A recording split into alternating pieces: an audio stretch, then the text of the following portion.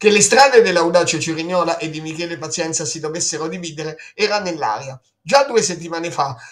il direttore sportivo Elio Di Toro in un'intervista a Telesviva l'aveva confermato. Poi, una settimana più tardi, il comunicato dell'Audace Cerignola che sanciva l'addio di Michele Pazienza dal sodalizio giallo-blu, non dimenticando quello che aveva fatto per la squadra e per la città, portare dopo 85 anni la società ovantina nel calcio professionistico, conclusosi con un ottimo quinto posto e eh, aver fatto i playoff persi poi contro il Foggia.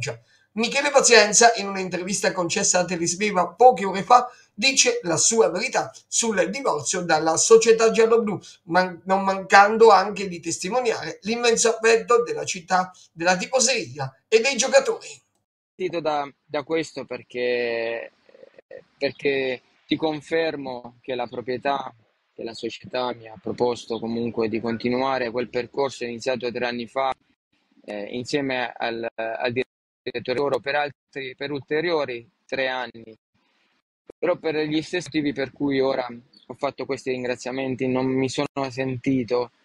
di, di accettare e di, di, continuare perché dentro di me eh, ho la sensazione che, che, non riesca a dare quanto dato fino ad ora, quanto dato in questi tre anni. E, e, il, il, modo migliore per, per, dare, per portare rispetto a chi oggi eh, mi ha portato, mi ha risollevato e mi ha dato la possibilità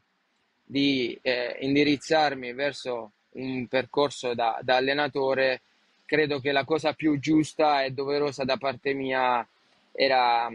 eh, era sentire quello che ho dentro eh, e dirglielo in una maniera chiara, diretta, eh, sincera, così come sono sempre stato con loro, con tutti, con la piazza. Eh, e quindi insomma credo che la cosa più giusta da fare era quella, quella di fermarsi oggi che, eh, che, è la possibilità secondo me migliore dopo tre anni e dopo un legame comunque instaurato con una città, con una tifoseria, con la proprietà eh, che io porterò per sempre con me